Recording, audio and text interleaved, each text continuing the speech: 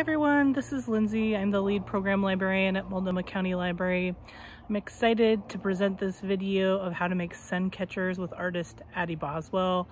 This uses materials you can find around your house. It's great for kids grades K through 5, although some of your littles might need some help with the iron. Um, if you're interested, we're going to have more of these virtual activities and performances on our website, so check it out there. We hope that you're staying safe and are well. Enjoy the craft. Thanks. Hi, everybody, and welcome back to my studio. I'm Addie Boswell. I'm teaching you art projects you can make from your house, like some of the examples behind me, which were all made by my students over the years. And today our theme is sun catchers. And what that means are um, things, pictures that diffuse light that you can hang in your window they might brighten your house up and they're perfect for spring when there's lots of sun coming. So the first uh, is the simplest made out of coffee filters. They're really kind of just colorful. They're nice to hang as like garlands across your window if you make a lot of them. The second, and most adults have made this at some time in their childhood, uh, melted crayons. You'll need an iron for this, just a regular iron. And the third project, I call these uh, fake stained glass because they have that same kind of see-through quality, but they're a lot easier to make. So let's get started. For the first project, the coffee filters, all you're gonna need is coffee filters, hopefully you have some around, and water-based markers, which are your Crayola or basic kids markers. So what you're gonna do to start is just flatten a coffee filter out. I got two. They're real thin, and you're just gonna start coloring with your markers. Now you can make a nice picture if you want to, but it doesn't really matter. So really all you want to do is cover up as much of that coffee filter as you can. So I'm going to, for this first one, I'm going to use just primary colors. You guys remember what primary colors are, I bet. Three colors. I'm going to use just those primaries because I want to see when I spray the water on if it if I can find the secondary colors it mixes. So Got it almost filled up yet. And you can just scribble on this if you want or draw a pattern, kind of whatever you want. You can try different things. I'm gonna scribble some over the, over the middle. Okay, so I have my coffee filter all filled up. Now we are gonna spray water on top of it. So before you do that, you might wanna go outside and put it on the ground. I like to put it on a paper plate if you have one around because that holds it really nice. And now we're gonna spray real gently. This is just water. Give it a couple sprays and I'm going to give it a minute and see if it starts to kind of mix together. I'll give it a couple more sprays. And now I just want to give that a little time to cure. So I'm going to set it down for a little bit. It's looking good already though. Okay, I'm going to set that down right here and let it dry a little bit and let it move around. Um, and, and you might not have a spray bottle that you want to uh, dedicate to water, but I know you have something like this in your house, Windex or another cleaner. So I just thought I'd try an experiment to see if that would work the same. Let's try it. This is the Windex. smells nice. So this is kind of running, so I'm moving it around.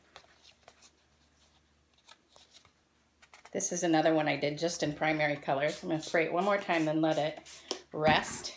Okay, we'll let that rest too.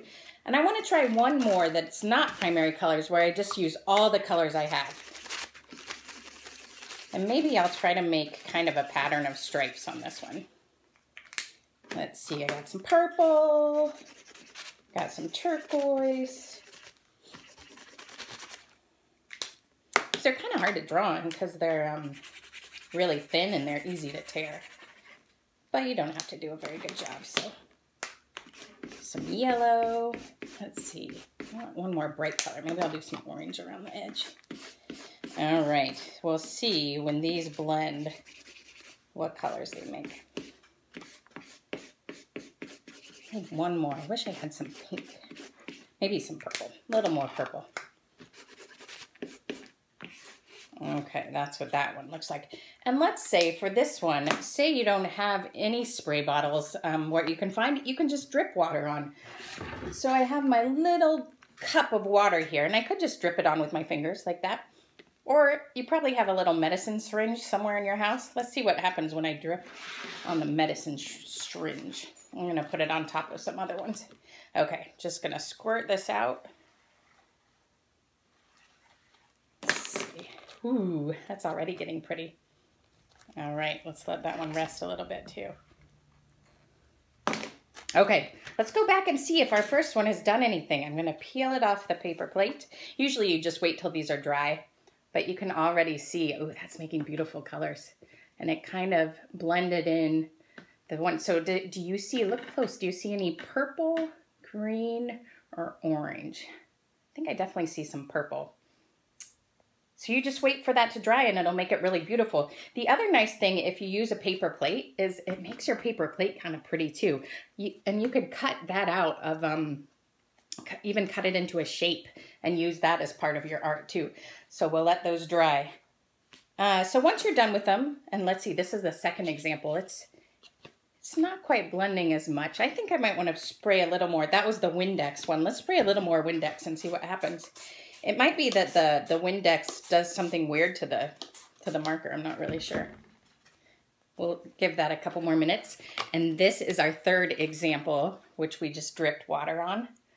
Ooh, that's pretty too.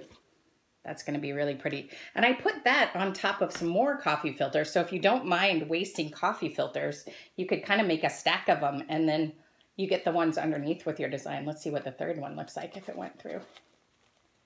Oh, that's kind of cool. It's like a system. So imagine if you like strung some string through these and hung them up, they would really brighten up your place. They'd be really good party decorations too. Um, but one more thing, if you don't want to just hang them up, they're, they're mostly just fun to make. But if you want something to do with them afterwards, it's not just hanging them up.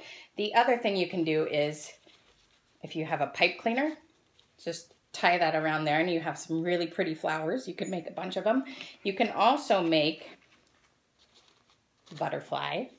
I would put that either on a popsicle stick or if you have a clothespin, makes a nice body. Uh, or you can think what, what else you can make out of them. They're, it's up to you. It's an art experiment. All right, I think that's it for the coffee filters. Enjoy mixing. Ready for the next project? This one is a little messy, but it involves melted crayons and it's really fun to do. So what you need for this project is an iron, a household iron. Mine's uh, heating up. Put it on medium to medium high heat. You need um, a newspaper just to keep your iron clean.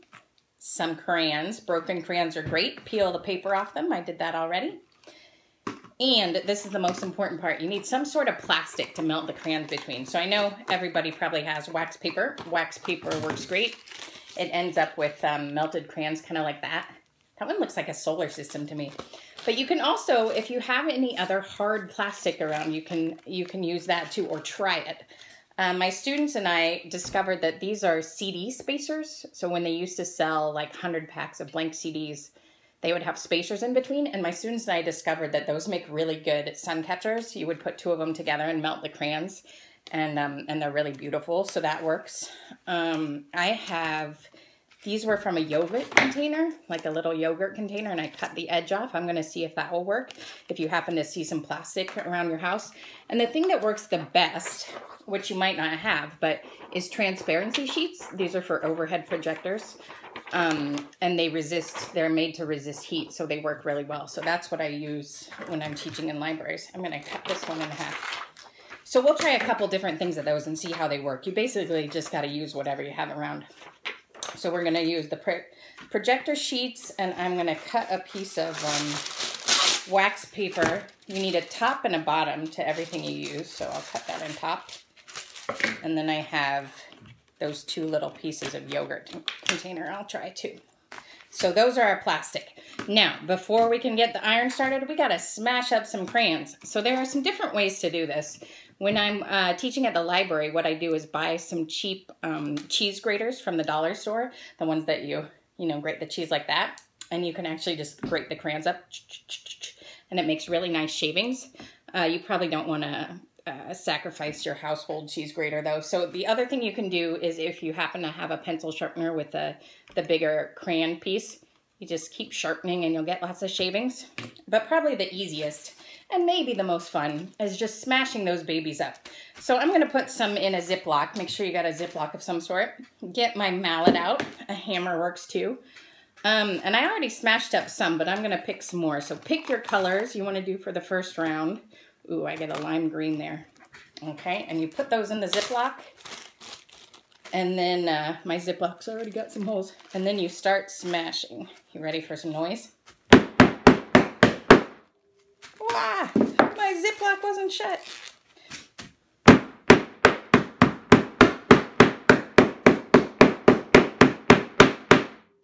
So you want these pretty small.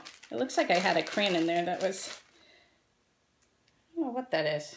Maybe it wasn't quite a, wasn't quite a crayon. Uh, you want these pretty small, so if you have big chunks, keep, keep smashing. Okay, let's see how that goes. So now I have all these like little shavings, and this is messy because the crayons get out sometimes, but. Okay, so I'm gonna pour some of these shavings on one of the the sheets. It's pretty much impossible to make any sort of picture. So you just sprinkle them on kind of in the middle. I'm gonna put some on the wax paper. And you want more than you think because you because when they melt, they really spread out. So you can put quite a few on there. And some on my little yogurt container. All right, we got them spread out. Now this is the important part. Don't forget your lid because you gotta put the lids on so that you don't just iron them right onto the newspaper. So I put the lid on my on that one. Lid on this one. And where did my little round lid go? There it is. You sometimes lose these, so put my lid on that one. Now I'm going to put these in between the newspaper. I'm going to open the newspaper and put them in the middle because if the, the crayons go over the edge, I don't want to ruin my iron or my mom might get mad at me. Okay.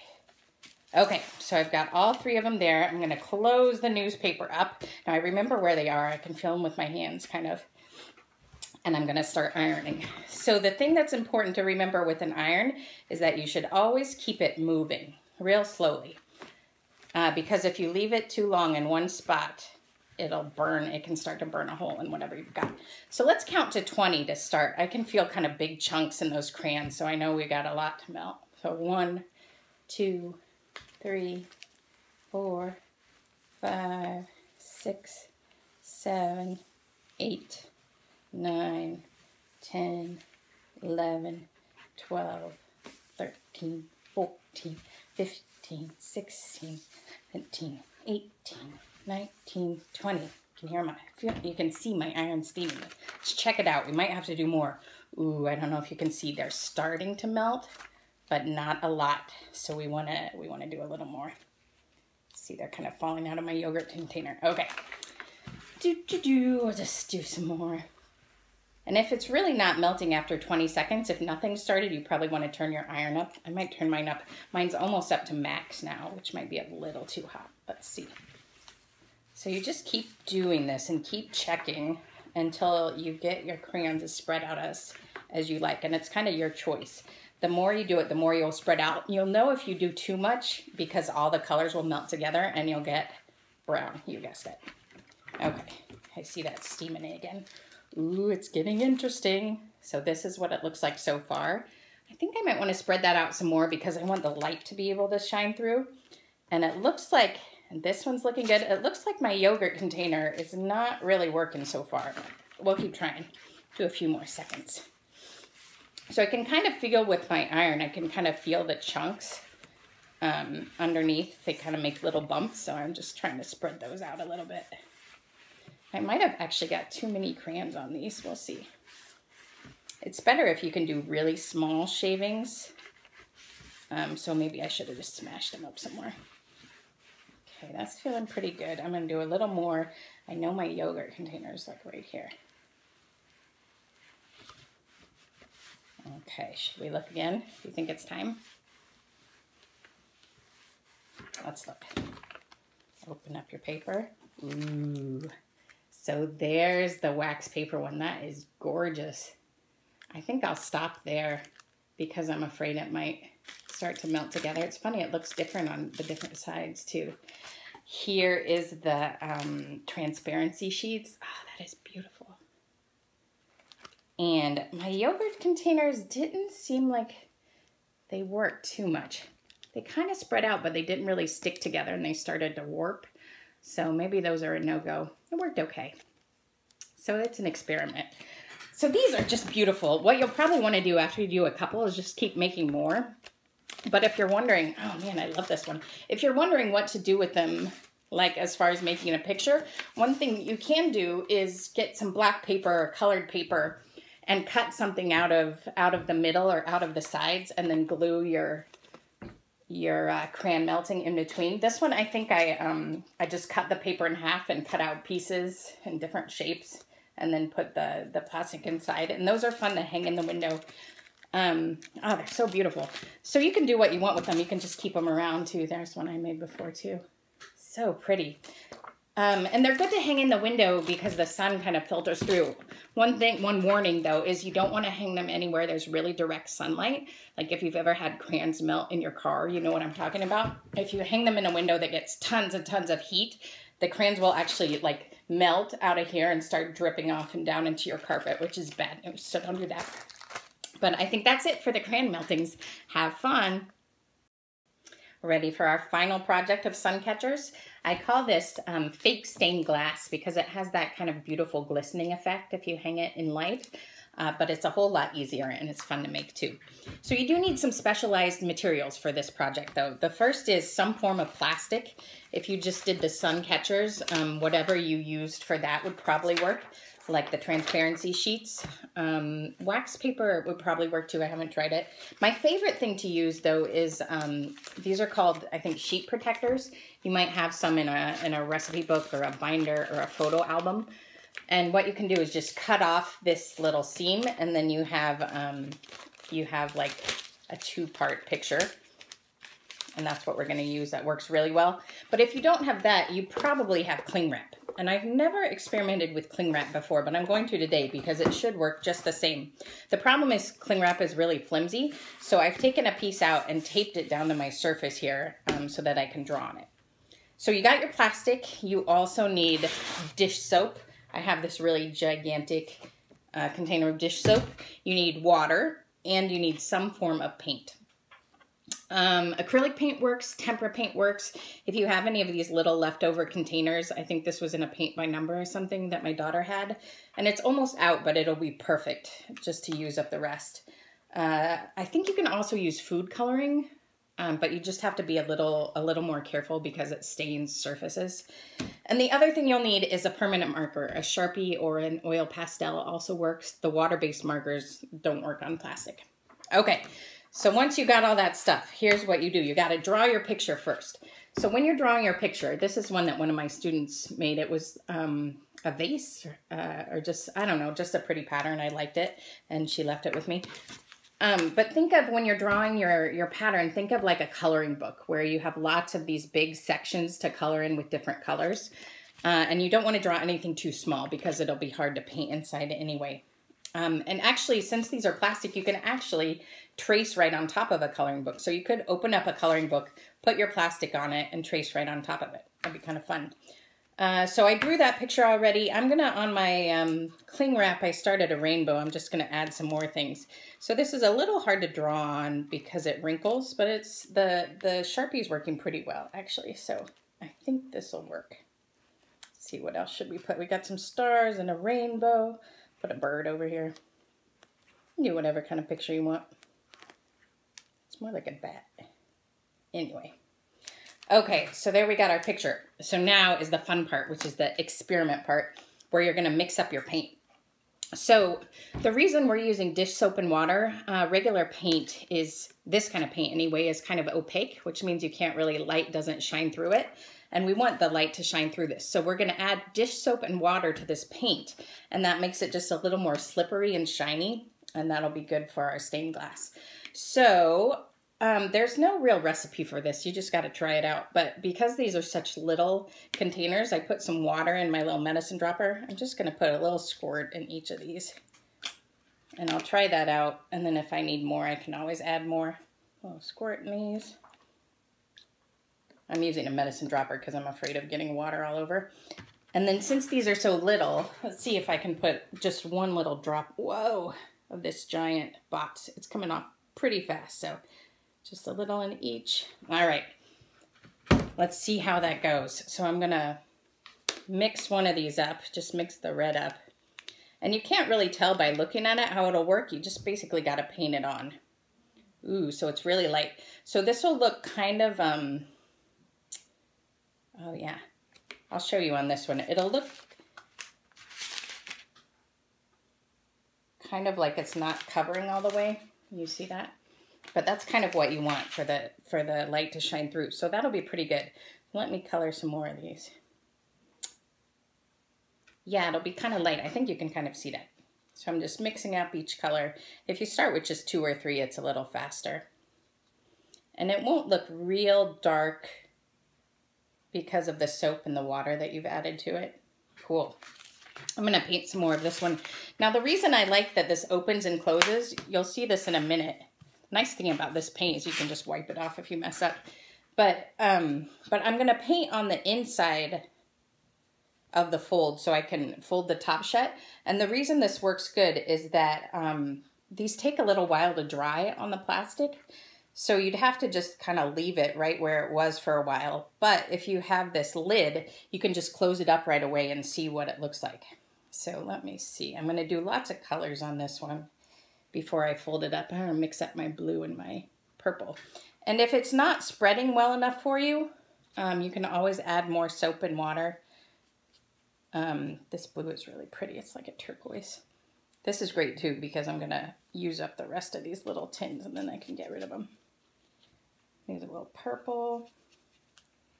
Do the outside, of course.